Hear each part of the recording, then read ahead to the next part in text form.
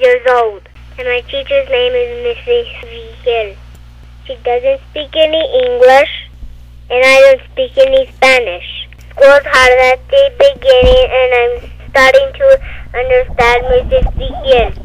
And sometimes I am even able to speak to her in Spanish. It was the first year of a dual language program where Spanish would be the dominant language. We were about to embark into a new method of instruction. The classroom was chaotic the first day as the teacher gave out instructions, passed out books, and established classroom rules, all in Spanish. The children were making friends within their respective groups. Lucky was a child that spoke both languages, for they could befriend either group. However, the teacher only spoke Spanish. Some of the English speaking students were at a disadvantage. These children seemed confused and frightened. The English speaking children couldn't even help each other. I could see the fear in their baby faces. Yet for those students who understood Spanish or had heard it spoken at home, they seemed relatively excited and happy.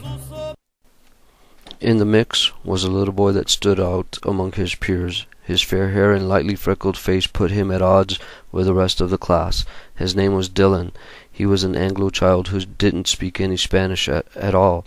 He probably hadn't heard it spoken too often before. This little boy seemed especially confused. As I visited the classroom on a daily basis, I was careful to monitor the emotional state of all the English speaking children. I would especially look in on Dylan. After a few days, he seemed to relax into the classroom routine, yet he couldn't communicate in Spanish. All of his responses were in English. He often got help from one of the bilingual children. You could almost see the exuberance in the bilingual child as he showed off his command of English and Spanish. ¿Puedo ir al baño, señora Vigil? ¿Quién tiene sus tareas? Yo tengo mi tarea. ¿Quién no vino a la escuela hoy? Nayeli no vino hoy.